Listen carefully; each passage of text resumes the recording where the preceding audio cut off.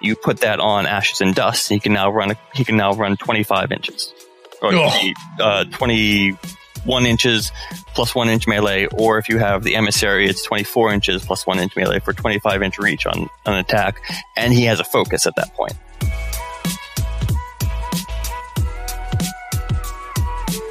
Howdy, friends. Craig here. We got another deep dive, this time for the Outcast Master Leveticus. These guys have a really interesting mix um, of expensive models for their core crew. I really liked hearing how they switch gears with Ashes and Dust when they need to and when they should. Uh, you might enjoy the part where they uh, talk about deliver a message and how it's actually a pretty good scheme for Leveticus. There's a great piece that we do on schemes that you should never take against Levy. Now, we recorded this before Gaining Ground Season 1 was announced. And at the end of the episode, we do some interesting wish listing on strategies and schemes that we missed from second edition. We also talk about the current schemes and strats in M3E from Gaining Ground Zero that we think they should throw in the bin. Enjoy!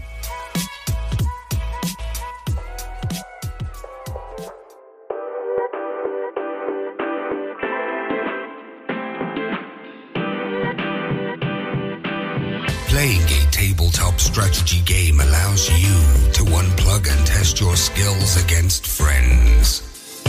Every week, Third Floor Wars delivers useful strategies, discussions, battle reports, and reviews to tabletop games like Malifaux. If you want to get better at the games you already play or discover the games other people are playing, you are in the right place. Craig and Ray welcome you to the third floor and the Tabletop Talk broadcast. Craig here on the third floor. Today we're going to do a deep dive into the Outcast Master Leveticus and how the Amalgam crew works in Malifaux third edition. My guests today are Josh Antoline and Owen Beste. You know Owen from the Tara Deep Dive. Uh, so Owen, welcome back to the third floor.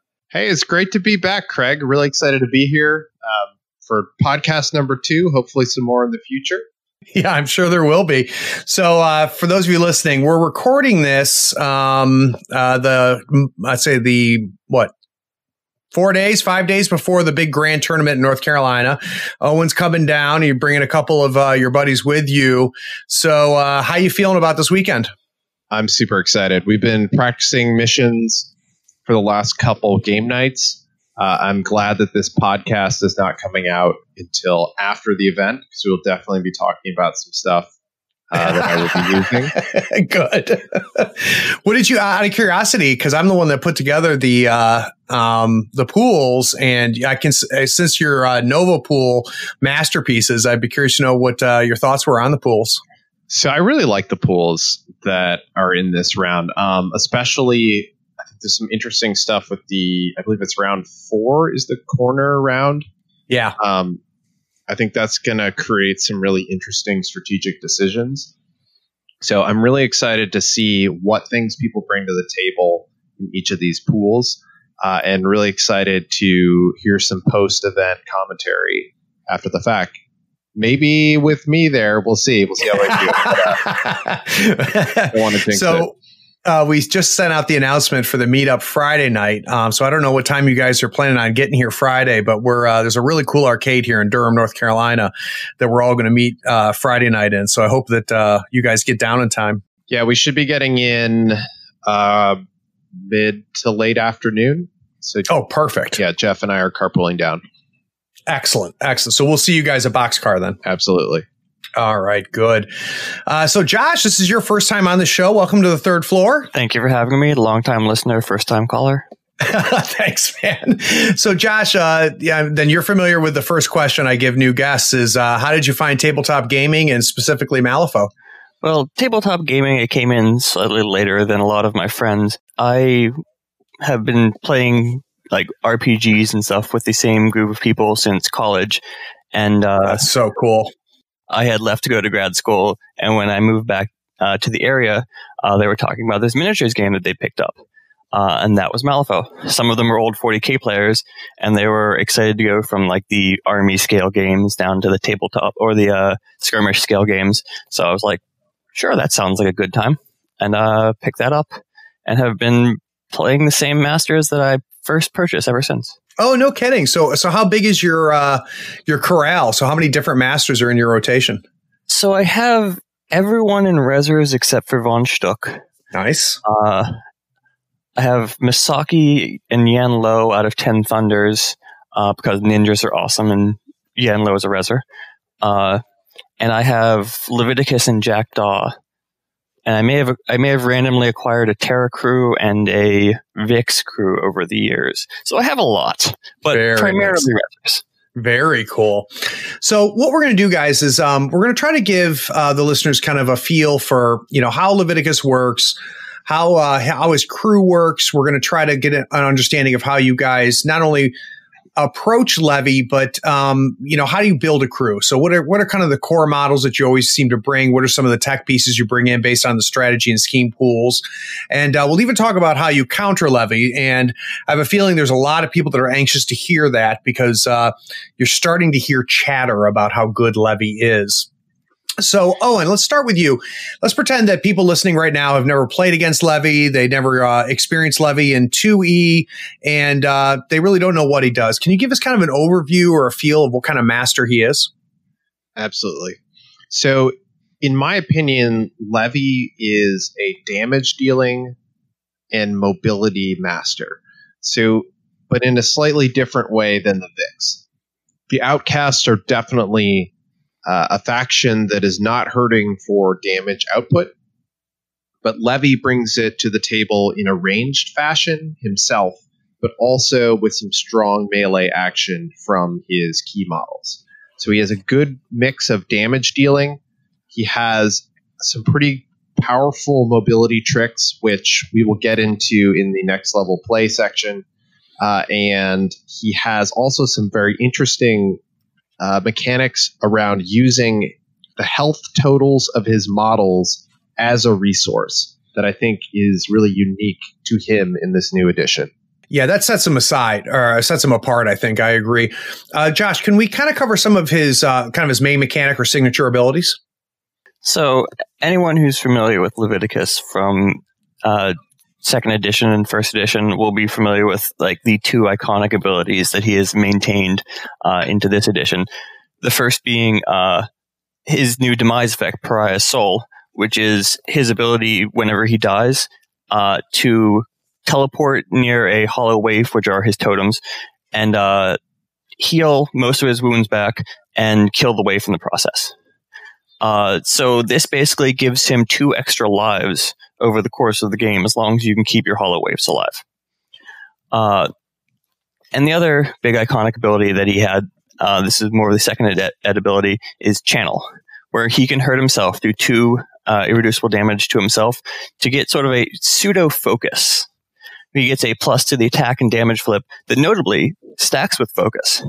So I think that's a big thing to, to, to, point out, Josh, is that it's not called focus, even though the effect is on top of focus. So that's a really mm-hmm. important call out. So you can stack the two on top of each other, and this lets him uh, have very accurate attacks, uh, good chance of getting a damage flip that's cheatable. It lets him get around defensive features like manipulative or serene countenance, and also fire into melee or into cover or uh, concealment rather. Um, and not suffer the penalties to the same extent uh, many people will. Yeah. So Owen, we, we have to really start with his offensive abilities. So can we kind of go over his attack actions and uh, how he's going to be deleting models off the table? Absolutely. So uh, his first main ability is similar to what he had in second edition, and that's his unmaking attack. The theme of Leveticus is that he is a necromancer out in the wastes who is dealing with entropy, the concept of life and death. And so all of his attacks revolve around names like Unmaking, Death Touch. Um, and so his Unmaking attack is a range 12 stat 6 versus willpower attack that does 2, 3, 4 irreducible damage that ignores hard to kill. So, so good. It's very good. And, and you may be thinking, well, a min 2 on a master, that doesn't actually seem that great. But it's the irreducible that's key because in this edition, irreducible gets past soul stones, it gets past armor, It gets past shielded. Basically, any ability that would be protecting key models, where the model really depends on some sort of damage reduction, Leveticus doesn't care. And with that channel that Josh mentioned, he's also likely to be hitting a higher uh, damage amount. Yeah, and that ignoring hard to kill needs a special call out there because it's very rare. In fact, that's the only instance I can think of where I'm seeing irreducible and ignores hard to kill, which means which means you've got nothing. So his second attack is Death Touch. That's a range one melee attack, stat five. Again, two, three, four damage, irreducible. This time, though, it has a key trigger that really can ramp up the damage. It is a built in crow trigger where he can choose to suffer up to two damage to himself to deal that much extra damage in his attack. So if he chooses to suffer two damage, his damage track becomes four, five, six irreducible. Ugh. That is brutal. And with that channel, he is very likely to hit, and he is very likely to be doing a higher damage or be cheatable. Yeah, and, and if he's not hitting, he's draining your hand. Exactly, because you do not want to get hit by that. Yeah. Now, question for you though. It um, and I did not. I faced I faced Levy more in three than I did in two. Um, what I always remember him in two as just being a, a ranged threat, but it really seems to me like it's a little bit different now that Levy almost wants to get in the mix more. So it's actually interesting. In some ways, it's a throwback to the beginning of second edition. So before, for those of you who haven't played a long time in Malifaux, uh, early on, Leveticus's channel ability in second edition had uh, basically applied to both of the attacks from the charge action. So that meant that he could channel once and get two focused attacks. This made it very effective for him to be fighting in melee, and so he was actually primarily a melee master Got until it. Wyrd said this wasn't really what we intended completely nerfed channel to once per turn and doesn't affect charge, and that basically changed him over to a ranged master instead. So, Got it. So this is like coming home to that mix of range and melee. Um. So uh, let's talk a little bit, um, uh, uh, Josh. Uh, actually, Josh, go ahead. Your thoughts. Oh, it was more just the good thing about the, the throwback. Uh, the second edition Leveticus also had the extremely swingy damage spread. Yeah. Where the severe was like eight or something silly like that. So this being able to be a credible melee threat is is it gets to uh some some old school Leveticus action. Yeah, that's cool. So Josh, um, you know, obviously now we've got a situation where he's got the mobility, um, he's got the demise ability, he's got the extra resource of his health to manage in order to increases damage output. I'd be curious to know, you know, what's keeping him on the table? Does he have some defensive abilities that's keeping him there? So the I think the big change from second to third, in my opinion, for how Leveticus works, is that they did add a bunch of interesting layered defensive capabilities onto Leveticus and actually the whole crew as a unit um, that make him less of a glass cannon and more of just a cannon mm-hmm. uh, than he used to be. Um, in terms of defensive stuff, uh, he has a built-in unmade trigger on his defense, and uh, it's a unmade is a defense willpower trigger that after resolving, the attacker suffers one irreducible damage. Uh, and since it's after resolving, it doesn't matter if it if the attack succeeds or fails. If you get yeah. the tome on uh, defensive willpower, your opponent is taking one irreducible damage. So it's a great way to punish your opponent. Um, and this synergizes with the uh, last ability that that Leveticus had, uh, Ruinous Repair, which is probably the the newest and strangest ability on his card.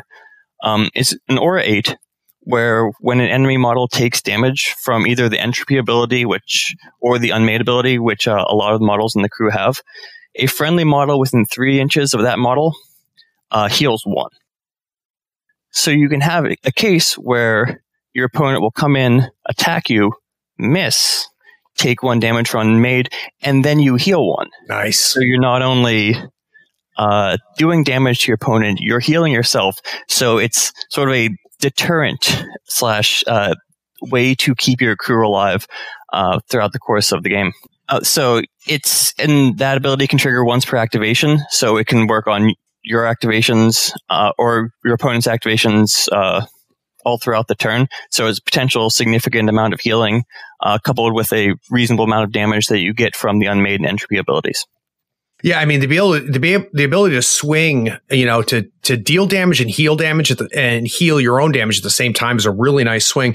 Josh, the other thing I just noticed too, looking at the card, is um, it's interesting. His melee attacks defense, but his range attack Unmaking attacks willpower. I would imagine that gives you some flexibility in deciding based on whatever your target priority is, kind of which way to go. It does. The uh, the fact you can channel to get very high accuracy on both of those. Uh, sort of, it just tends to what cards you have in hand and how much damage you're willing to take on yourself uh, to get an attack through. If you're not willing to take a whole bunch of damage, you know, the two damage for channel plus two damage for the the trigger, the ne- necrotic decay trigger, um, you may want to err more on the side of range attacks, mm-hmm. uh, so that you are only taking a little bit of damage uh, throughout the course of it and potentially uh, getting some soul stones back through the triggers that you can get on Unmaking. So, Owen, can we talk a little bit about more about Pariah's Soul, his demise ability? Can we just like mechanically exactly how that works? Absolutely. So, mechanically, what uh, Leveticus brings to the table two totems. These totems thematically are uh, sort of they're called hollow waifs, and they are basically undead people who have been turned into mindless automatons for Leveticus. And so he has bound his essence into them. And so what happens is anytime he would be killed as a demise trigger, instead, you place him in base contact with one of your waifs, heal him to eight. Uh, he's base 10, he goes to eight, and then kill the waif. So this uh, basically gives him two extra lives throughout the course of the game. And unlike in second edition, the waif can be anywhere. There's gone is right. the concept of an anchor. It's just wherever the waif is, is wherever he shows up. Yeah, and, and that adds a whole nother level of play, uh, which we'll kind of dig into. Um, oh, oh, and the last thing I wanted to do before we kind of wrap this up is let's talk a little bit about his tactical actions because they're very interesting. Yeah, so there's two two tactical actions that he has. The first one, bonus action called Sanguine Evocations. This, uh, for Magic players out there, is Scry 3. Uh, but for non Magic folks, it is look at the top three cards of your deck. Um, so this allows you to see what's coming. You can reorder those cards, and then you can choose to suffer damage to discard any number of those cards at uh, one damage per card. So you need to remember to do this at the start of your activation. I, I can't right. tell you how important that is and how many times I've forgotten to do that and regretted it. Uh, but knowing ahead of time whether you're going to need to cheat, whether you can get by on a negative flip and still flip high, it's it's critical to the success of his attacks. It's very similar, Owen, and Josh, you'll know this. It's very similar to, to Whisper, which is an upgrade we have in Rezzers, um, but you have a lot more flexibility because you can actually get rid of cards. Yeah, uh, I would say this is the upgraded form of intuition on several different levels. The getting rid of cards is, is really awesome. Um, but Owen said you you always want to do it at the start of your turn. I don't know if that's always the case. If you have a good hand and you think you can get away with just by cheating, you can uh, just flip regularly, flip with focus, or flip with uh, channel, uh, and rely on the cards in your hand to make sure that the attack hits. And when you have less tools at your disposal, you can then use Sanguine Evocation to stack the deck so you don't have to rely on stuff coming out of your hand. So it's more flexible than intuition, which is mandatory at the start, right. automatic at the start of your turn. So in theory, what I could be doing too is if I, you know, had a good hand, um, maybe didn't have as critical, or I knew I had what I needed to make what I needed to happen happen, I could do it at the end of Levy's activation and potentially setting up a, some de- defensive tech um, for what's about to come at me now that I've ended my master activation. Yeah, that's a really yeah. great point. And that's absolutely something you can do depending on the tactical situation at hand. Um, How about Essence Transfer? So Essence Transfer is a really interesting ability, and it ties into the life is a resource concept. So 12 inches, he needs to get a four or better, uh, and it's pick two models. Notably, he can pick himself, and one of those two models is going to heal up to four, uh, and the other model is going to suffer that much damage. So basically, uh, what he can do is transfer damage from one model to another. So he can take things from his A bombs. He can take life from something that has a lot of life, give it to something that's almost dead. Suddenly, your ashes and dust is stronger. Suddenly, Marlena is stronger. Or he can use it even to heal himself or to move his own wounds somewhere else. So, in actual gameplay, Owen, uh, where do you see? I mean, there's several ways it can be utilized, but really, what's the primary way you you're leveraging that ability, or are you not leveraging it? I mean, out of five turns, how many times are you using it? So, I'm going to maybe use it every now and then. I definitely don't personally use that ability every game, but there are situations where that range 12 can be the difference between keeping your beater alive uh, yeah. and your beater dying. So it definitely has its place, um, but it's not an every time type of thing. How about you, Josh? Is it something that you that you often use, or uh, is it one of those abilities that you you don't use enough, and then all of a sudden you're like, oh yeah, I forget he does that. It it borders on the second more often than not, only yeah. because it's competing with Sanguine Evocation, which is just so good for exactly what uh, Leveticus is trying to do but there are, are several models in the Leveticus crew that you really want to keep alive or want to keep at a, high wound total, in particular, like ashes and dust. Uh, so having something that you can just drop for a easy, uh, significant heal uh, can be really advantageous in those situations. But it is very situational. Right. Uh, yeah. If, if you're going to forget any ability on, on this card, it'll probably be that one. Yeah, and it, it uses a master AP, which is um, no small resource um, to leverage. Uh, but I can imagine it can be one of those. Oh shit! I didn't know he could do that. Abilities. Yeah, exactly. It's occasionally, it's going to be the clutch play, and it's going to either win you the game or really make the difference. But the rest of the time, you're going to focus on killing things. So, there one other thing which we I think missed back on the the attack section is a really important aspect of his melee attack, and that is that there is a trigger on it for him to summon an abomination. So he, oh wow! So he has potential uh, incidental summoning when he kills a model.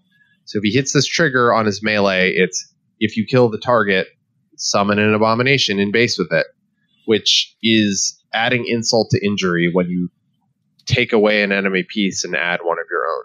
Yeah, that's that swing is always nasty. If you've ever played against Albus, it's just a nasty swing. Um, do you find yourself stoning for that, or is it if it happens, it happens?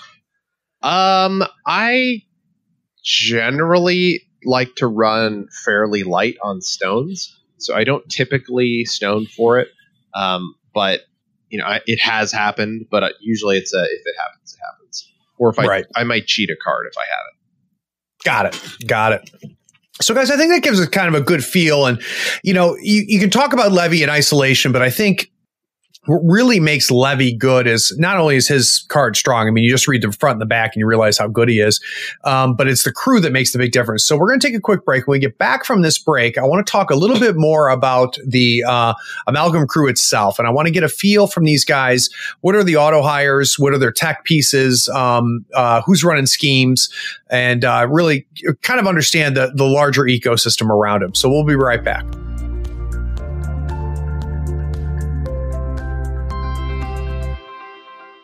The friendship is sharing deal. Because I want one of your McNuggets. And I need some of your quarter pounder. There's a deal for everyone at McDonald's. Get one favorite like 10 piece chicken McNuggets, a quarter pounder, or a Big Mac, and get another for just a buck. Price and participation may vary. Valid for item of equal or lesser value.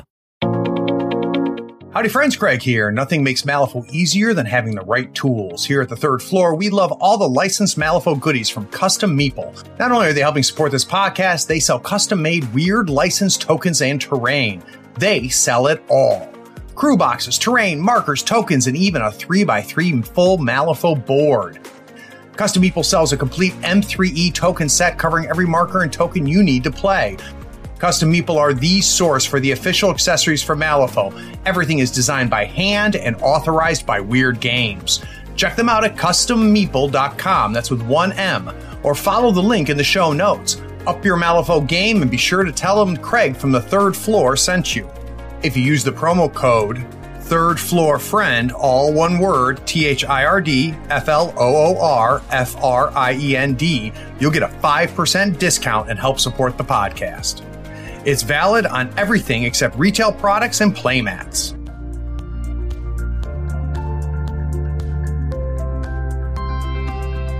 Um, I can tell you, um, if you uh, you can read Levy all day long.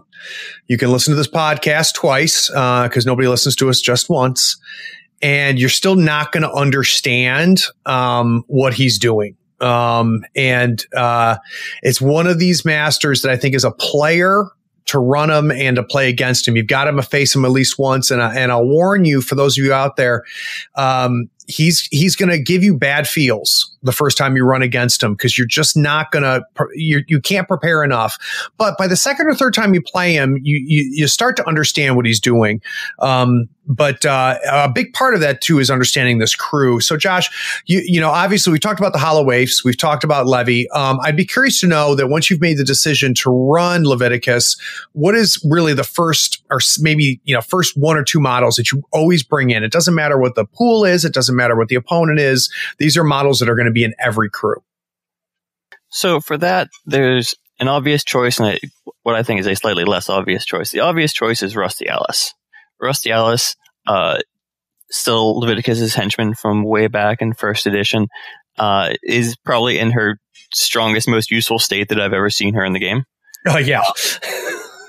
she is a amazing range damage piece. Uh, highly mobile, pretty good defenses, uh, and has a min three gun at 12 inches that ignores hard to wound and has the execute trigger. God. I mean, that plus rapid fire. So you can potentially get three or four depending on uh, what models you have in the crew and what buffs you put on her, uh, attacks with that in a single round. Yeah, I, I, can tell you right now, Josh, that um, when I hear people, uh, you know, making noise about Levy, if I don't hear Rusty mentioned in the first four sentences, I completely discount the opinion and, and I don't even want to talk to you about Levy because she is so good. So good. Uh, but not too good to nerf. Leave our girl alone. she is appropriately good for her cost. So for, for everybody listening, listening in a suburb in Atlanta, we just decided she doesn't need a nerf. Definitely not. You're wrong, Kyle. Her move six is fine. It's fine. it's fine. Um, but average defense, good willpower, uh, has the unmade trigger and the entropy ability, which is the common abilities uh, that you see on a lot of the amalgam models. Yeah. Um, she also has armor one, which is the callback to the uh, bulletproof that she had in second edition, and yep. rapid fire to discard a card for an extra shot. Her melee attack is pretty good. Stat stat five, uh, two three five damage spread can, can, pass out some injured, but her gun is where the money lives. Uh, range twelve, stat six, three four five damage spread ignores hard to wound. Like I said before, execute trigger. It's just a just an amazing attack. Well, an um, execute trigger on a henchman. Yes, the execute is not as strong as it used to be, but in a pinch, uh, you can use it to either just straight kill models or drain resources from your opponent. It's very solid. Yeah, the, the execute trigger is, I think, is uh, to your point, Josh, is a little bit more of a finesse trigger mm-hmm. now. Um, that in the right hands, it's devastating. So if you're going up against somebody who knows how to time and to have the resources to act, to execute the execute, it, it, it can be a huge game swing. But um, for other people that are playing it, and if it happens, it happens. It's not nearly as devastating. But I, I've I have faced precision players who who knew when to make this happen, and I mean have has caused you know two or three models to come off the table. Hmm. Uh, yeah, I've done that more with Jackdaw than with uh than Rusty, but absolutely. Yeah. Um, her tacticals are okay. Uh, she can create pit traps that are similar, that are identical to the ones that uh, Ma Tucket puts out. Mhm. Uh, the difference between Ma Tucket and this is that uh, the Amalgam crew primarily can't ignore the pit traps and lacks the forced movement to just casually throw people in and out of them. So they're less useful for the Amalgam crew. Uh, Rusty also has etheric healing. Um, a- cast that you you get to discard a card and heal one two three based on the value of the discarded card. Situational, but but nice to keep her alive because she doesn't have uh, any other healing baked into her. Yeah, her tacticals come off as kind of a, you know, all right, yeah, I guess I'll do a bonus action. Um, the healing obviously can be critical at certain times. Um, to just we made a joke about it, but um, her move six is something that is that is uh, uh, something you have to pay attention to, because with the range of her gun, the deadliness of her gun, and then the ability to get where she needs to get with that move six, it, it is absolutely brutal. And um, I don't know. Like I said, I faced it two or three times now, and I swear to God, I, every time as soon as they discard the card for rapid fire, I'm like, son of a biscuit! I forgot that she had that every time. It, Yeah. um, she's a good piece. She's a good piece, and I think she's worth ten out of keyword um, in some uh, some situations. Um, my slightly more controversial pick, or at least less obvious pick, is Marlena Webster, and she's sort of the glue that holds my Leveticus crew together. Uh, Marlena Webster was one of the models that came from that uh, contest that Wyrd did a while back to have these story encounter generated uh, new models for the different factions. That, Yeah, that was so cool. I was so angry that Rezzers lost. so angry, so bitter. Um, but uh, Marlena herself um, is an enforcer, eight wounds, respectable defenses, uh, defense six, willpower five, respectable move. Um, armor one, uh, and to reduce damage, and also the withering away ability, which models within three inches can't heal, which goes to the attrition aspect of the crew, where Yep. a lot of your stuff can heal, and you're preventing your opponent from doing the same, so you're really winning those exchanges. Um, but the thing that I bring her for is her soul tether ability, which is when another friendly non minion within six inches suffers damage, it may reduce that damage by one to a minimum of zero. And if it does so, Marlena takes one damage. It's basically getting back to that theme of uh, using your wounds as a resource. This lets her take damage from Leveticus, take damage from Rusty Alice onto herself so that it can keep your more choice targets alive. It can actually, since this will affect irreducible damage, one of the few things that can reduce irreducible damage, uh, it lets you reduce the damage that Leveticus takes from channeling. Oh, right, right. So that he only takes one from channeling, so he's not chewing through his wounds anywhere near as fast. Um, Yeah, she's good. Uh, She's not cheap, and nor should she be, because she's she's strong. Um, but uh, I, I could, I you know, I never even thought about being able to use that with channel. That's I don't think anybody's done that against me. That's nasty. But as she, I would imagine there's a little bit of skill and finesse involved there, Josh, because I mean, you need her positioning is key with her, right? It's a it's a respectable size aura, and she's on a forty, uh, height three on a forty, so she gets the line of sight pretty easily. Um, but yeah, six inch bubble, so uh, a twelve inch span across the board. Yeah.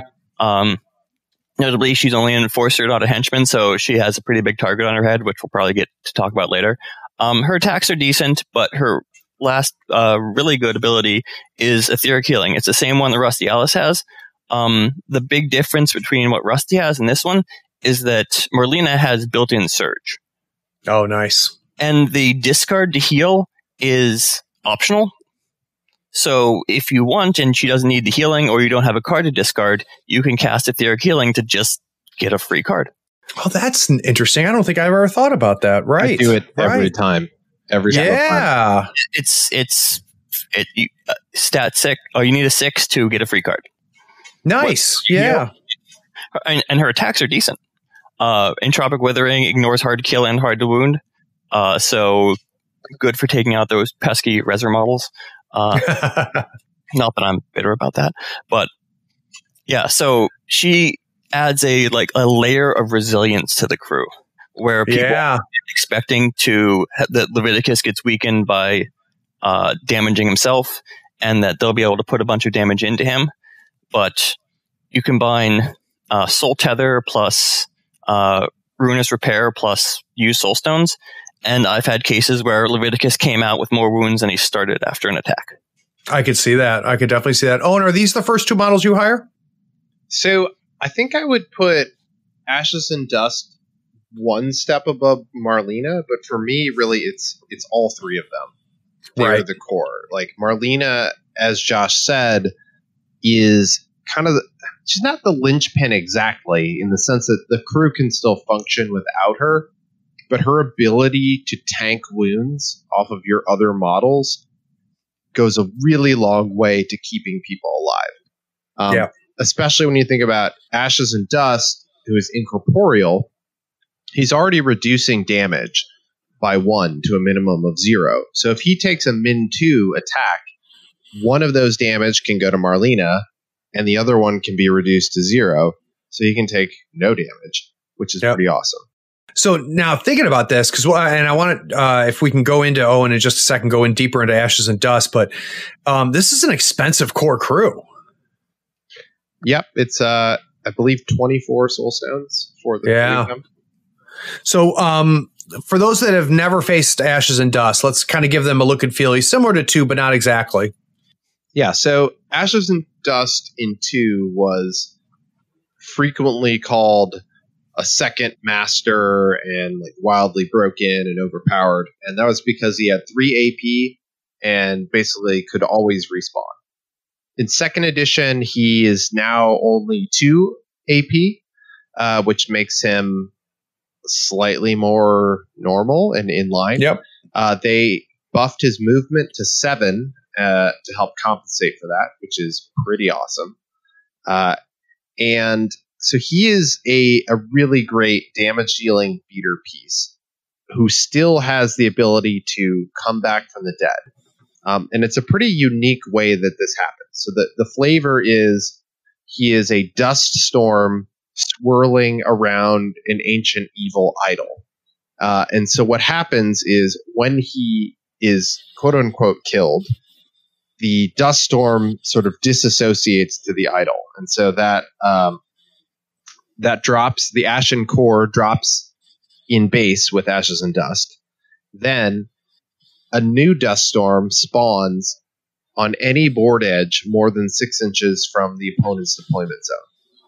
If these two models can get back together, uh, the core is stationary, but if the dust storm can get to base with the core and do a bonus action, it can then respawn back into a full ashes and dust at the end of the turn. So that means if you are careful about where ashes and dust is, and you keep him within range of a dust double move, you can keep coming back to life every turn. Yeah, and the the thing that's critical to call out here um, is you know we think about Leveticus first and foremost, and I, when I say Leveticus, I really mean the uh, amalgam crew as damage dealing. But think about the moves and the mobility we've talked about so far, with the uh, the ability for Levy to get around, especially if you know his demise ability is enacted, for the ability to Rusty to get around with move six, and now Ashes Dust at move seven. Um, th- this this crew is shockingly fast. Absolutely. And that's, I think, the key element of this. So, outcasts have Viktorias, who are also fairly fast and, and damaging, uh, and then Leveticus. And I think what sets the two of them apart is, in a lot of ways, the the Amalgam crew has more abilities to jump across the board in one fell swoop Yeah. and a little bit more resilience and staying power. Uh, whereas the Viktorias have a little bit more raw damage output uh, all in one burst. So that's kind of your trade off decision between the two. Yeah, and depending on the pool, Josh, I would imagine that's where you decide whether you go Viks or whether you go Levy, right? Yeah, how much you expect to get back in return? Like, yeah, Viks are better at dishing it out, uh, but Leveticus and Amalgam are much better at taking it. They have the healing, they have uh, the regeneration, they have the uh, no action summons, so that they're they're I, I think from as the attrition crew. Right. You don't need to clear out your opponent. You can you can uh, gradually wear them down while maintaining a comparable degree of strength in your crew. So, out of curiosity, Josh, um, you know, we got we definitely got a sense of who's um, doing damage here. I'd be curious to know who's dropping scheme markers, who's flipping turf markers. If you need to get across the board to uh, drop scheme markers, uh, they have necropunks, which are a high quality scheme runner, five soul stones Yeah. for suited leap and uh, armor one and hard to wound. They're easy targets with defense four, willpower four, but they are just an exceedingly fast model. It's possible if you really need it, you can speed them up a little bit with depending on your crew selection. Um, I also take prospectors, which are a their own little bit of scheme marker tech, mostly for the the soul stones, but that's the, those are the two that I am I'm typically running for scheme runners. Also, Ashes and Dust just a really good at uh, running up a flank, clearing out anyone who's there, and then just spending the rest of his turn dropping scheme markers. I've had that happen on several occasions where he'll just uh, steamroll the the people that are on a single uh, edge of the board, and then spend the rest of the game uh, scoring me victory points. And that's, I think that's a kind of a good mentality to have in general, Josh, because very often we can lock people into their roles. And it, it, does it matter if Ashes and Dust uh, deleted models? I mean, that's his job is to delete models. Well, what if he didn't delete any models and he scored you three points? I guess you're okay with that, right? As long as you're thinking that uh, it was worth those costs, you wouldn't have uh, points better spent elsewhere. And with Ashes and Dust, I honestly don't think you're going to find it. Regardless of what he's doing, he's probably going to do it pretty well. Yeah, and, and a good shout out on the prospectors. And um, uh, prospectors are a, a versatile model, um, and uh, we're not going to go over them, but uh, definitely look at their cards, um, and you can see where um, I think there's good arguments on how uh, outcasts have a really strong pool of versatile models to work from, and prospectors are part of that. Um, oh, and do you find yourself ever hiring out of keyword, or is there any other versatile models you bring in? So I'm I'm actually a really huge fan of the emissary. Uh, I know that may or may not be a popular opinion, um, but I really like the emissary with Leveticus especially uh, for two reasons. One, the plus one movement aura uh, helps everyone be faster. Everyone loves a walk eight ashes and dust. Um, then the healing aura. So the emissary is bringing not only an aura where anyone who activates within three heals one. He also has a tactical action to heal a model and give them trinket upgrades. So I will frequently give Marlena a regen one uh, trinket and then Nice. have her within three of the emissary. So she is tanking everyone's wounds and then healing back extremely quickly. Uh, and then on the scheming front, there's nothing more fun than giving a pretty floral bonnet to Ashes and Dust so that he can run uh, 16 inches up the board, going through terrain because he's incorporeal, and then scoring a bunch of your backfield schemes. Yeah. Yeah, that's that's pretty good. That's pretty good. Um now Josh, I was wondering, you know, this is seems like a crew that uh, is top heavy a little bit, right? So, I mean, even if we're talking about the emissary on top of that, you know, things are getting real expensive. Do you ever find room um, or a need to hire another master into a, a levy crew? I don't think he needs it. There's there's some that will accentuate it a little bit, but I don't think it is strictly speaking necessary. His high end models all get the job done really well. Um, but you could bring in someone like Parker. Parker has the perk of uh, freeing you up from needing to take interact actions. So Right. instead of taking interact actions, you can just do that Leveticus and the Amalgam crew thing of just slaughtering your opponents. You can spend your AP just doing murder. Leverage Parker to to get interact actions at uh, select times. Yeah, and I would imagine too, Josh or Owen, that um, he would not necessarily be a great master to hire because he really needs his waifs, which ups his cost. Um, and it might be hard to imagine him without something like Marlena to help. Um, I mean, I don't know if I would, I know I've never seen it, but I don't know if you'd ever want to hire Levy, would you? No, I I don't think I'd ever do it. Yeah. not for 20 soul stones to Yeah. to get everything and Yep. not even all of his extra regen tech because uh, the ruinous repair uh, triggers off of everyone's uh, unmade or everyone's entropy. So the less unmade, less entropy you have around, the less likely it is. Yep. Yep. Um, oh, and how about uh, Outcast upgrades? Um, are you bringing any of those into your crews?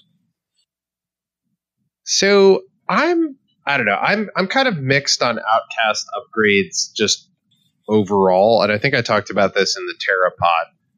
I think our upgrades are okay, but not great. Like we're not arcanists. Um, so Or yeah, or resers, right? So Not that, that, Josh, be quiet. Uh, for me, the main one I'm potentially looking at is Servant of the Dark Powers.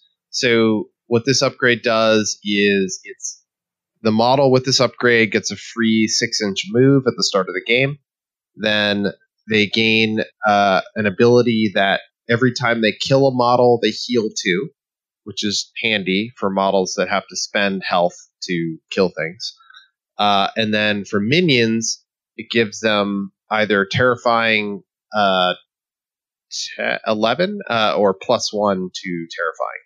So it's potentially useful on Leveticus so that he can heal from killing things at ranged, or potentially useful on a Desolation engine so it can try to stay alive and be terrifying 13. Um, but Josh, I think you uh, you like some other upgrades potentially. So, being a huge fan of Marlena, uh, the only thing that would really augment her more would be to put possibly Soldier for Hire on her. If your opponent knows that she's kind of a, a key piece in the keeping the crew alive as well as it does, uh, and also the fact that since she's not a uh, henchman, uh, she's squishier than a lot of the other heavies in the crew. Uh, she is kind of has a pretty big target. So if you can put Soldier Fire on her for just a little bit more resilience, but even then, that's not a that's not an auto take by any stretch of the imagination. Yeah. So, out of curiosity, Josh, I mean, there, there's kind of a uh, a very tempting gimmick in a levy crew, and that's the uh, abominations and you know turning them into a desolation engine. Do you find yourself hiring to pull that off, or is, is it if it happens in a turn, it happens, or are you hiring a desolation engine? How like how does that uh, kind of obvious gimmick when you first look at the crew uh, actually end up becoming uh, used, if at all? No, just just just no. Uh, I don't think he needs gimmicks. Is really what it Yeah. comes down to. Uh, and if you're putting a lot of moving pieces into pulling off the acquisition of a desolation engine, which are an awesome model if you can get them right in your opponent's face, but otherwise, defense three. Yeah, Like there, there's enough ruthless out there. There's enough people who will just cheat in to pass the terrifying to take out your defense three model before it has a chance to do the nasty things it can do when you get when it gets up in your face. And, that's a nasty hire for ten points. Yeah, That's a lot of points. That's a lot of points. That's one more than ashes and dust. That's an Yeah. emissary. That's take. That's barbaros. Uh, that's pride plus an Yeah. upgrade. Yep. uh, and abominations are just not resilient enough. Like if you if you hire a bunch of those, someone could just come in, snipe your one A bomb, and now you have two crummy models in your backfield, not really accomplishing much. Right. And then and then you might end up be making some bad decisions trying to force the issue with, you know, getting that trigger off a levy, right? Yeah, you don't you don't need the gimmicks to succeed. If you Yep. somehow manage to kill three of- of your enemies' models, get the triggers three times. Honestly, at that point, the desolation engine is almost just icing on the cake. Yeah, it's a win more. you've already crushed them pretty hard. A little bit more crushing is not going to be the, the deciding factor in that game, I'm guessing. Now, I, I, I will put in one uh, little plug for the Abomination, not as a hire, um, but if you can summon them, they are nasty little tar pits. Uh, and for one, well, two two big reasons. One, they have the amalgam wide ability of entropy, which is Mhm. a model activates within three, you just suffer a damage. So pretty much every model in this uh, in this crew has that ability. So you're plinking uh, some incidental damage all over the place. So that's good. It also has the withering away. Enemy models within three cannot heal. That is super annoying to have in the middle of your crew. So if you can summon one into a mass of enemy models, especially folks that depend on healing, like say Right. McMourning, McMourning. yeah, Yep. like uh, goodbye all of your defense. It's Yep. also notable that Marlena Webster also has uh, that withering away, and she blocks enemy healing within three. Yeah, that, that that can be brutal, and builds off that attrition theme that we've talked about. So, guys, let- let's take another break real quick. When we get back from the break, I want to talk about. Um, there's a lot of competition in Outcast. Um, I think one of the things that makes them um, a great faction. Um, it's a faction that I often will find myself recommending to new players. Is uh, they've got a, a really strong stable. Um, I, I they've got a lot of really good choices, and what I like about it is they've got um, they've got the tools to fit the pool. So I want to learn from these guys. When does Levy become the top of the list and really what I consider some decent competition? So we're going to find out what strategies and schemes uh, they like Levy into. And uh, for those of you that play against Levy, they're going to give us a couple schemes to avoid picking when you play them. So we'll be right back.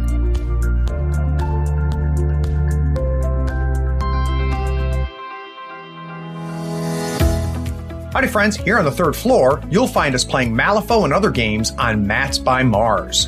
They are scratch resistant, waterproof, wet erase marker compatible, and lighter than neoprene. Mats by Mars gives you over 40 designs to choose from. Pick a mat size, pick a design, then choose an overlay like the one for Marvel Crisis Protocol or Malifaux 3rd Edition. It will speed up deployment and the placement of strategy and objective markers. If you're going to Adepticon this year, be sure to check out the Mats by Mars booth. Until the end of March 2020, you can use the new promo code Third Floor 320. That's Third Floor 320 to get a 10% discount on your next order. In the notes, you can ask for the Third Floor logo to be put on your mat for free. Again, use the promo code Third Floor 320 to get a 10% discount. Details are in the show notes.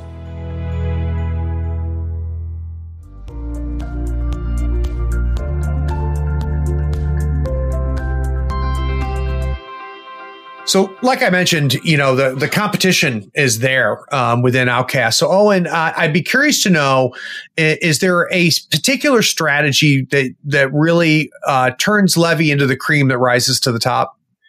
Yeah, so I think the the obvious go to is Reckoning. Uh, so that for two reasons: one, Levy deals a lot of damage, and two, he's hard to kill. Uh, Yep. He himself is hard to bring down. The other models in his crew hard to bring down.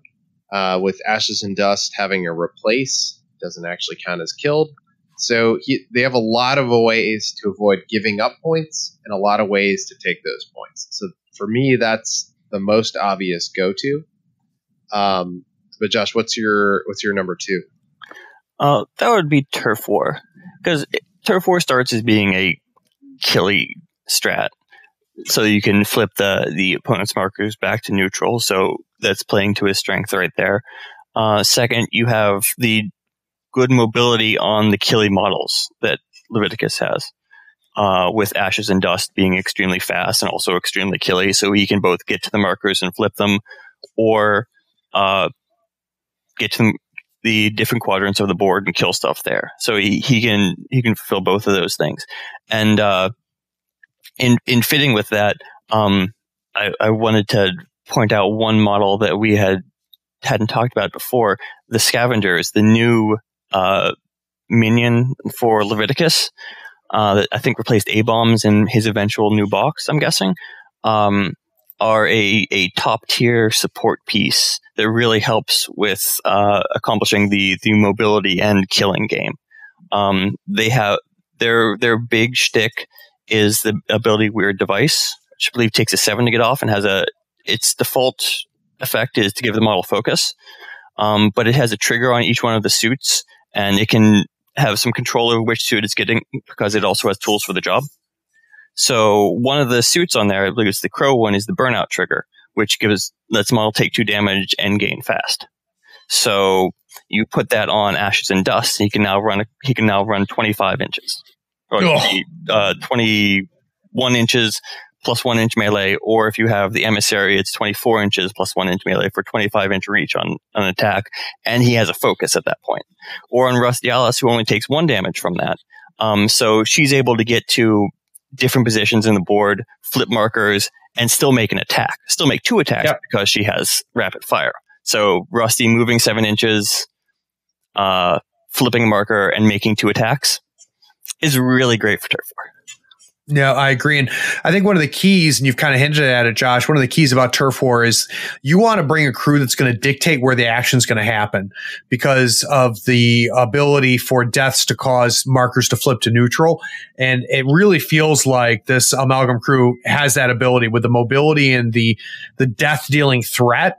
I would imagine that you're kind of dictating, you know, where stuff's going to go down. You can kill them up close. You can kill them far away. Uh, Yep. You have a lot of ability to get to where exactly you want to go and, and get the job done. So, Owen, is there uh, one or two schemes that you just love to see when you've got Levy as your uh, master? Uh, before we jump into the schemes, I want to put in one sort of maybe sleeper strat pick okay. as well. So, uh, I don't think Levy is the first choice for plant explosives. Uh, for me personally, that's going to be Tara. But Tara has some really bad matchups, notably Yep. Guild. I'm never going to play Tara into Guild. They have too many ways to negate her whole Well, they've got one model that'll ruin your day. Exactly. So, in situations where the pool is plant explosives, but my opponent is guild, uh, I may often turn to Levy because he also has the speed to send Yep. models across the board to drop those markers. Well, and the resiliency to not only be, to speed across there, drop those markers, but then to be able to protect them. Exactly. Yep. Yep. No, that's a good call out. So, how about schemes? Uh, and what is there one or two schemes that um, Le- Levy and his crew tend to excel in? Yeah. So I'm a big fan of Assassinate. Uh, again, he kills stuff dead, uh, but also it's hard to kill him. So it's it's the good combo of this is a scheme that's good for you and it's bad for your opponent. Um, now, granted, you have to be careful if it's in the pool because your opponent could score that first point if you're not careful with how you manage Leveticus's life. Oh, They're- right. They're very difficult to score that second point. Yep. Um, number two, sometimes uh, if it's there, I love taking Vendetta. Uh, however, being a fairly top heavy crew, this is mostly going to work against other elite crews. Yeah. Or in things like Reckoning, where people want to take more elite crews for resiliency. That's when you might have an opportunity for a model like, say, Marlena to take uh, to take that vendetta against, uh, say, your enemy's beater. Josh, I'd be curious to know for you, is there any scheme that um, wasn't real obvious at first, but you kind of took it uh, because you had a, maybe a, a rough pool? Is there is there kind of a sleeper scheme out there that uh, Levy actually does well in? So, oddly enough, deliver the message uh, Oh, okay. for Leveticus because people don't really want to get close to him. Right. He he has the chance of just clearing you off the board if you are within his within striking distance of him. Um, meanwhile, you have like ashes and dust, which, as we mentioned, uh, can just be startlingly fast and walk through everything because he's incorporeal. Uh, to go up and deliver a message uh, very aggressively because of his his resilience. Uh, so it's again getting back to the uh, hard for your, harder for your opponent to do, uh, easy for you to do type of scheme. Uh, and you can combine it with some scheme marker tech, like by way of the uh, the emissary, really playing him up. I'm 100% uh, in the emissary camp for Leveticus. Um, Yep. To try to get the the end of the game uh, score on that. What is a scheme, Josh, that nobody should be picking uh, if if they're facing Levy? So what is what is what does he counter hard? Uh, We're talking about assassinate. well, I would not do uh, claim jump against Leveticus because it's easy enough for him to take out basically anyone. Like some of the more Yeah. expensive models out there, the ones that have like serene countenance, uh, th- that are just generically difficult to, to target. Uh, he can get through that even if they're standing in cover. He can focus and channel and get through just a wide range of defensive features that way. And you've got the mobility that if you smell it, you can make sure that you've got somebody in that circle. Yeah. You can always Yeah. run probably not ashes and dust because that's too far away from a board edge for him to feel safe. Right. But you can get someone up in there or just clear them out. Yeah. Did, did we mention that Rusty Alyce has move six for some reason? I don't know if we brought that up yet or not. no, It's fine. That's It's new. fine. It's just fun. Um, oh, and how about you? Is there um, is there any particular schemes that uh, that you love or that you would uh, not uh, recommend as a pick against Levy? Um, I don't know. I would say power ritual. Weirdly, um, so so power ritual for two reasons. One, if it's in the pool, I'm probably going to take a prospector because that prospector is going to be pretty easily protect your, you know, at least one of your backfield corners. Uh, and then the other reason is and this kind of gets into the the second level play but ashes and dust. Usually when he splits apart you're focused on trying to put him back together again. But you don't have to. You could put that dust storm anywhere on any corner. Mhm. Which means that corner where you dropped a scheme marker two turns ago and no one at all is near it guess what? Dust is there and he's going to go pick it up. So you can pretty easily deny uh, power ritual and get into position to mess with that I think that's a nice lead in oh, into kind of our next segment. So we're going to take a break. And when we get back from this break, I want to talk about two things. One, I want to talk about second level play. And then as somebody who's lost to Levy three times, I would really love to hear what these guys think about um, what, what scares them. So when they have Levy on the table, what is there some, is there something that the opponent can bring or something the opponent can do that uh, potentially could help um, mitigate um, really what I think is w- one of the better masters with better keywords in the game. So we'll be right back.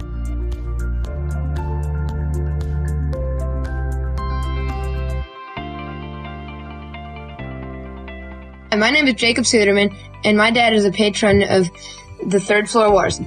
I like the Third Floor Wars because the deep dives tell me a lot about a master, and when I get my second master, I'm going to use the deep dives to tell which one I want. Hey, you should be a patron too. So, how much are three or four of these episodes worth to you a month? Third Floor Wars has a Patreon, and if you think they're worth a dollar, five dollars, twenty dollars a month, swing by and become a patron.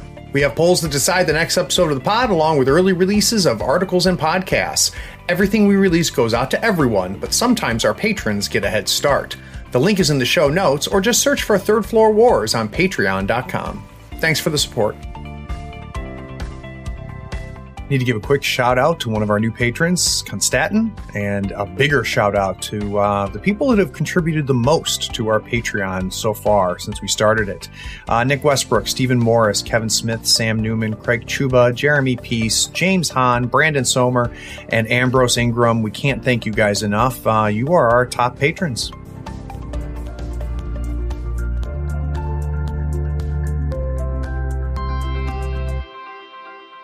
So uh, w- when you play a crew, uh, the first time, the second time, you know, you're learning the mechanics, you're figuring out what the key, you know, the signature abilities are, what the keyword abilities are.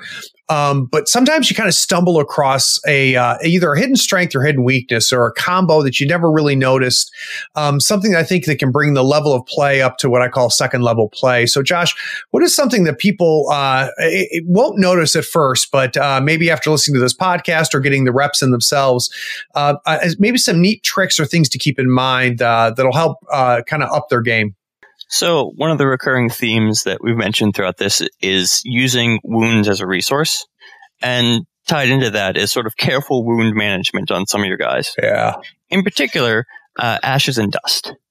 His big shtick is when he dies, he breaks apart and then can reform at the uh, end of the round. So, you want to be able to take full advantage of that capability. Uh, a smart opponent won't kill a weakened ashes and dust that's already activated? Because Right. then you get a activation of the dust storm and then you just reform as a full wound uh, ashes and dust the next turn. They'll leave a weakened ashes and dust out there to kill early on in, in the next round to deprive you of the ability to have a full activation out of ashes and dust. So in that case if they won't do the job you got to do the job for them and some- sometimes you just have to kill your own guys. You, you do that Yeah. a lot less in this edition than you know casually shooting Leveticus in the head back in first edition. But taking out a wounded ashes and dust on your own, uh, so that you can have a full strength one the next turn, can sometimes be a good play. Sure, sure. I don't think I would have thought of that. So that's nice. And and really the key is is whether he's activated or not, right? Yes, you want to do it after he's activated, uh, because if he hasn't activated, you'll get an activation out of the Ashen Core, but that's not always super useful. Um, a full activation out of Ashes and Dust tends to be much more uh, effective. Um, Yep. The one thing to remember when trying to kill your own Ashes and Dust is if he's in melee, you can shoot into that melee. Oh no, you get a negative flip. Um, but you can just relent, so you'll hit him. Uh, Right. Then you have to remember that he has incorporeal. You don't want to think you have a, a weak that will kill him and then realize that his own defensive features are biting you in the butt. Sure. So that's just something to keep in mind if you're going to try to kill your own ashes and dust. Make sure you have the damage to do it. And then the, the Yeah. next next level play of that is use Leveticus's uh, ability to move wounds Oh, right. and just kill him with irreducible damage heal yourself in the and meantime. heal yourself off of it. oh God, that's frustrating. Quality use of sang- of uh man, I don't even remember that ability's name. Is, it Is that it you? sanguine? Oh shoot! What? That's how that's how often these guys use it. Essence transfer. Essence transfer. Yeah, essence transfer. Uh, so, Owen, how about you? What are what are some things that you kind of figured out about uh, this crew um, after you got your reps in? So another cool thing you can do is uh, so I already mentioned using the dust storm to surprise contest schemes. Yep. Which can be awesome for take prisoner, for outflank, uh, for power ritual. Uh, the other thing you can do is strategically killing Leveticus himself so that he can then teleport somewhere else on the board. So the cool part about this is that this can actually happen mid activation. So he has abilities such as essence transfer uh, that can kill himself. If he's right. close to low wounds, he can actually transfer his own life away. Similarly, the uh, sanguine evocation, where you can discard any number of cards, then suffer that amount of damage. It's not a cost to discard the card, so it gets around the restriction on declaring actions that would kill yourself. So he Yep. can actually kill himself off of that. Pop up somewhere else with his life refilled, and then continue his turn somewhere more useful, uh, continuing to do actions. So it's it's not something you're going to do all the time because you're spending one of his own limited lives, but it can be a huge surprise to opponents when suddenly he moves in the middle of his turn. Yeah, and that could be a turn five move, right? Or it, it- what's key here is that it's something that you know you probably didn't think of at first, which means your opponent hasn't thought of it, and really can be that's the difference between a loss and a tie or a tie and a win, um, especially late late game. Absolutely. Very nice. So Owen, um, I think we've made a strong case um, for how good this crew is. Um, what are some things that you faced, either uh, some tech pieces that you really hate, or some uh, uh, strategies or tactics that you've seen that really make kind of a rough day for this crew? So I'm gonna I'm gonna actually lead with none of those things and say Okay, flank deployment. Interesting. Um, and it's, it doesn't ruin his day, but if you think about Ashes and Dust as viable operating theater, Oh, it's based on the dust storm has to come in more than six inches from the enemy deployment zone. So on flank, you drastically reduce where he can safely be and respawn in the same turn. Uh, and since he's such a critical piece to the crew, I really dislike playing Leveticus into flank. Um, he's great for corner though because you have Yep. the most operating theater for Ashes and Dust. Um, but more seriously, to your actual question, uh, things that Leveticus doesn't like are things that turn off demise triggers. Because uh, Manos, uh, the Charm Warders, so pretty much Rezzers and Ten Thunders uh, can bring key tech pieces that make Leveticus have a pretty bad day. Yep. Yeah. How about you, Josh? What are what are things that you've seen uh, people either do or bring that uh, has has made life a little rough? Hard to wound is surprisingly annoying against Leveticus. Huh. Uh, because he doesn't get around that anymore. And uh, even with channel, unless you're beating them by or get a, a sufficient margin above them, you're still going to be on negative flips to damage. And he's still weak too. Uh, so hard to wound is also often coupled with just a high wound count in general. I'm looking at you, Rezzers, again. Um, so if you're if they're forcing you to do weak two, sure, it's an irreducible weak two damage, but it's still only Still two. damage. two. Yep. So uh, with that low damage, uh, he's also uh, they're also kind of vulnerable to shielded and uh, healing. So Yep. shielded can handle the the plink damage from the entropy aura, and healing can get around the general low damage spread for Leveticus himself for his ranged attack. So it's possible to just out heal him in that regard. Um, Marlena helps with that. Uh, Ashton, uh, A bombs help with that. Um, but it's it's one of those things that those guys can't be everywhere. So uh, a little bit of healing can go a long way. A little bit of shielding can go a long way of of chewing up the the plink damage that he does around the board. Oh, and I'd be curious to know um, how do you handle what I would consider um, the rather obvious target priority against him? So, it um, like I said, I have I've yet to beat the guy. I've played him three times and uh, uh, with two different opponents, and I've I've yet to pull out a win. But that's not not a big surprise because it's me.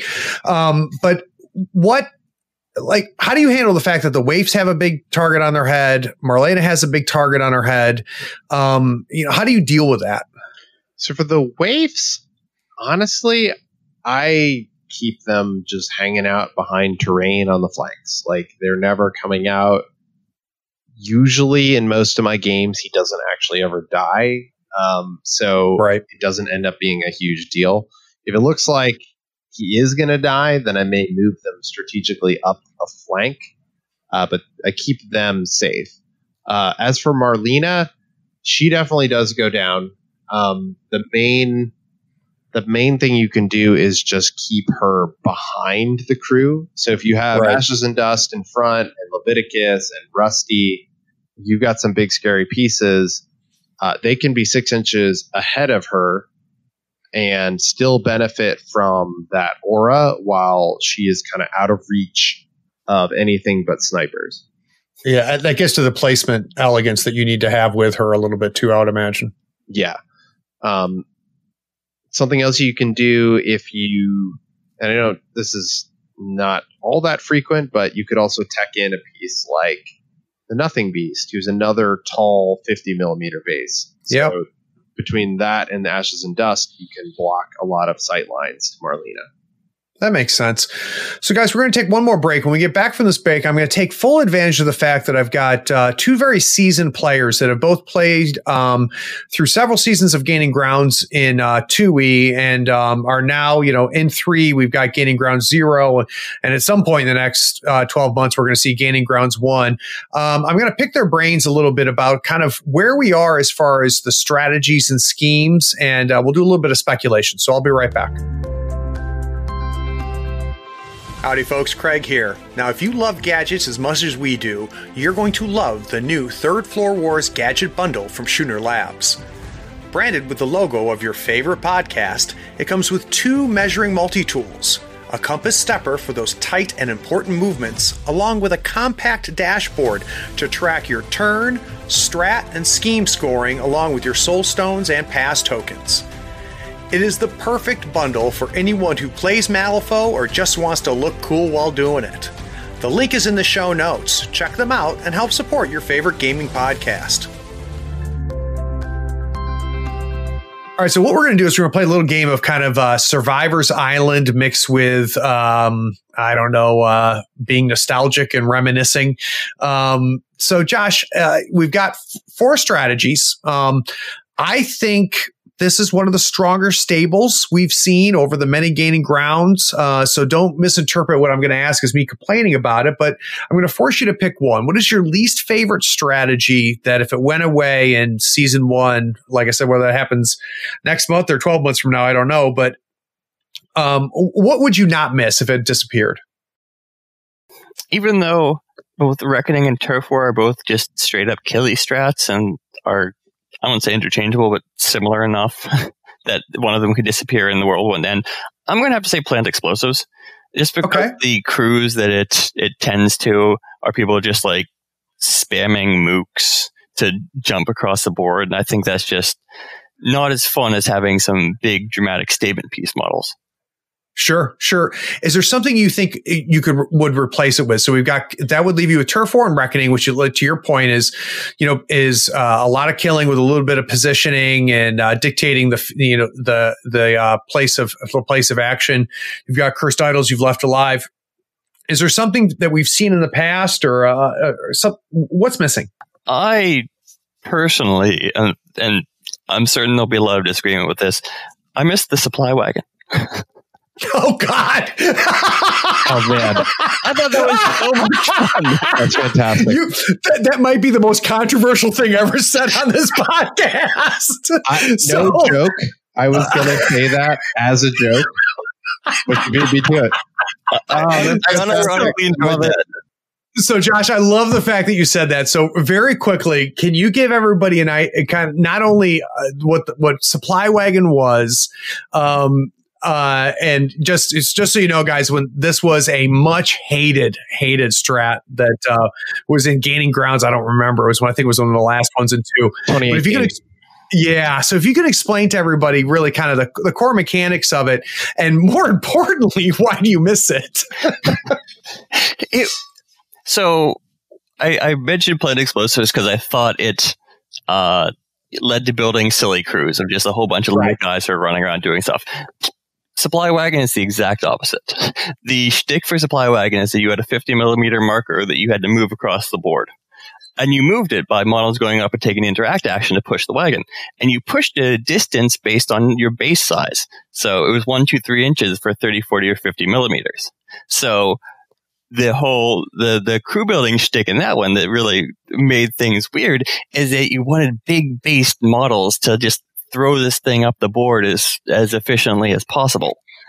So rather than building a crew full of like of of fast, speedy minions, you're now building it with your ridiculous 50 millimeter models or attempt to the antithesis uh, navigate the board that's now cluttered with terrain. It was just a, it was a mess, but I enjoyed it so much. Yeah, it's funny. You get me thinking a little bit. I mean, I like the idea of at least one strategy you know, specifically built to impact crew building, right? Which, to your point, Plant Explosives does, and so did um, uh, supply wagons. Though I think with Euripides existing, I don't know if we could bring supply wagons back. Mm-hmm, but um, uh, the, the the one drawback to uh, supply wagon is the way it played out, right? So the way it played out is you each had a you each had a, a wagon, and they typically would be you know at least twelve inches from each other, depending on where the center line was, diagonal or horizontal.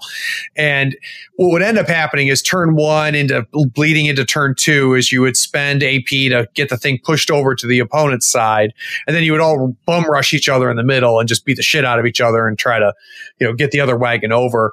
Um, but I think you know there there's opportunities there, Josh, to to take that idea and run with it though, and maybe add a layer of strategy. Like one of the things that I've always thought um, would have been interesting, and it could be terrible. I don't know, but what if there's only one supply wagon, and you could make the restrictions around moving it uh, a little bit interesting? Um, yeah, I wouldn't want supply wagons purely back, Josh, but I, I, I think I'm smoking what you're growing.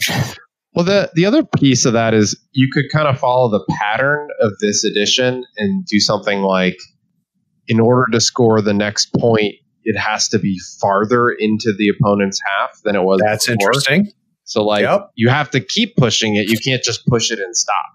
Um, Oh, so maybe uh, to score, it has to be uh, at least twice as many inches as turn numbers or something along those yeah, lines. something like that. Oh, that's kind of interesting. Okay. They, they Okay. the general theme of, of how things are scored now. No, that that's a good plan. They should make that. Yeah, I like that, Owen, and I like the and I like it because it also pairs up with some of the scheming themes of getting into each other's territory to begin with, anyway. Yeah. Um. Oh, that's interesting. That's interesting. Oh, and how about you? Is is uh is the plant explosives the the one that would uh, get voted off the island? Is there another strategy that you'd love? It's, it's that another one. think 'cause to I. I Okay. love plant explosives. Um, but but actually, getting to what we just talked about is the current edition heavily favors getting into the opponent's half or deep into their half as much as possible. Um, and so, what I'd actually love to see would be a return of forcing the engagement in the center. Yeah. Um, so I would drop Reckoning, not because Reckoning is bad, but because I have to drop one of them, and I like the other ones the most. uh Uh-huh. and I would bring in Extraction. So for those who weren't a fan of Extraction uh, or, or didn't know what that was, that's where you would place a 30 millimeter marker in the center of the board, and then at the end of the turn, uh, if you had at least two models within six inches, you would score a point. And then whoever had more models within six inches would get to move that marker, place it uh, three inches from its current position. And so the game was all about forcing the action to the center. You had to commit forces there.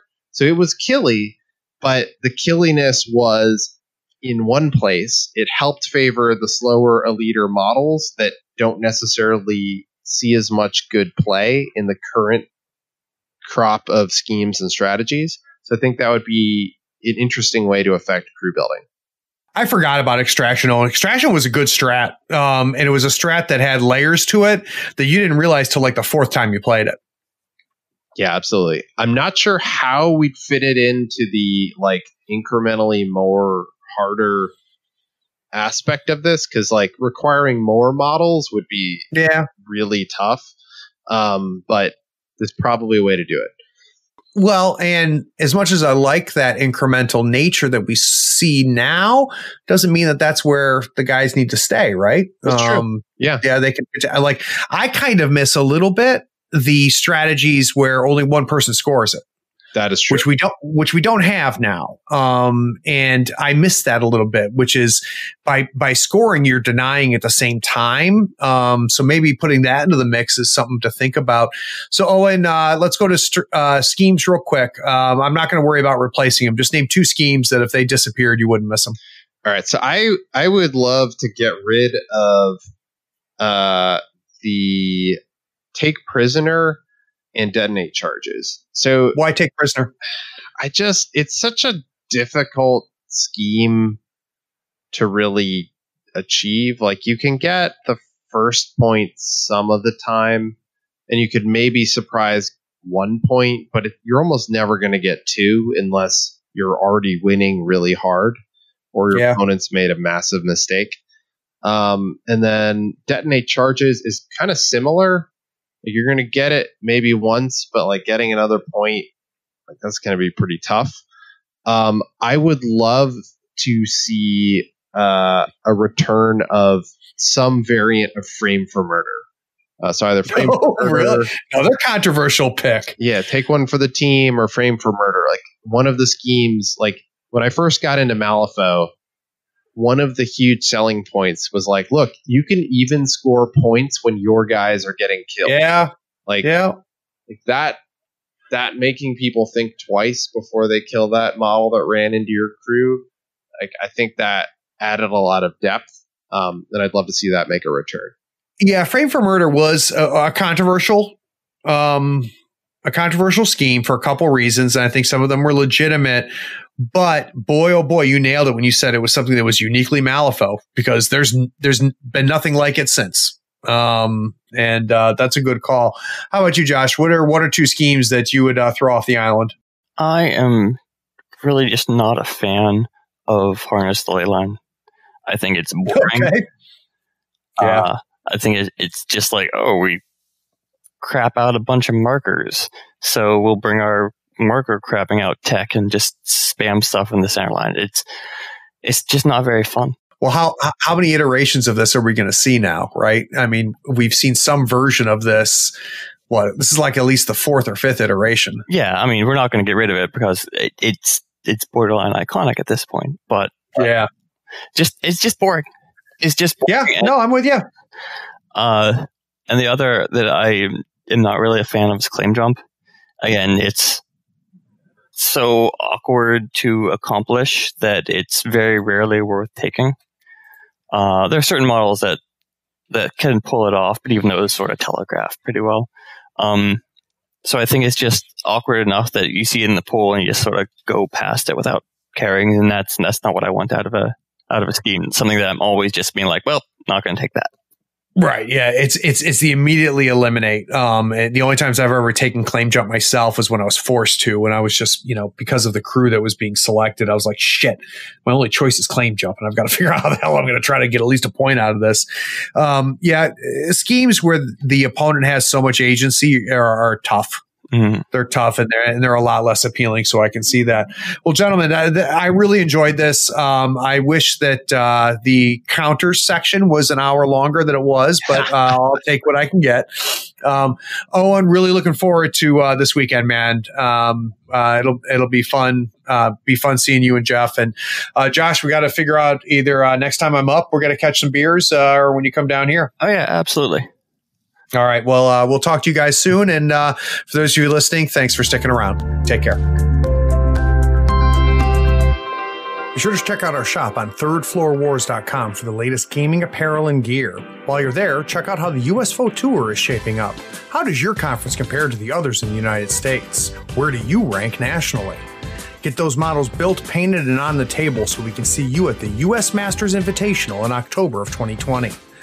Also, rate and write a review on this podcast for us. It really helps us find people almost as cool as you are. Thanks for listening. Howdy, friend. Craig here. Is this episode making you realize you need to buy some models? Gadzooks Gaming is my favorite online retailer because of their large selection, killer prices, and great customer service. Don't you hate buying an entire crew box when you only need one model? Gadzooks sells crew box models individually and saves you a ton of money. They even have free shipping to the US and Canada if you spend $100 or more. Swing by gadzooksgaming.com and make sure you tell them Craig from the third floor sent you. All the details are in the show notes. Uh, that seems good. Are there? Is there a place to just view them? Oh, okay, there we go. Yep, Got it? I can use the app. Hey. I got a podcast you can listen to if you can't. I listened to Um, that podcast.